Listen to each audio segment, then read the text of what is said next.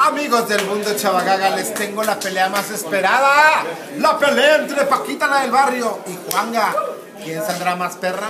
Acá mi compadre la va a calificar. Ahorita lo veré.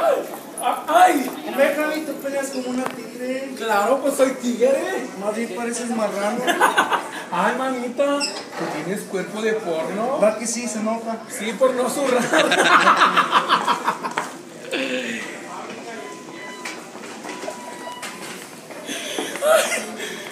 ¿Quién ganó? Empate. Empate. ¿Por qué les das el empate? Porque los dos están muy bien. Los ¿Sí? están muy bien, sí. sí. No te En- quieres meter en pedos. No me quiero meter. Aparte. Me estás oyendo, inútil. Eh, eh, ah, ah, la misma voz de ella. Javier Miranda. Estaba la vez pasada dos jotillos. ¿Y luego? Está. Pues ahí están.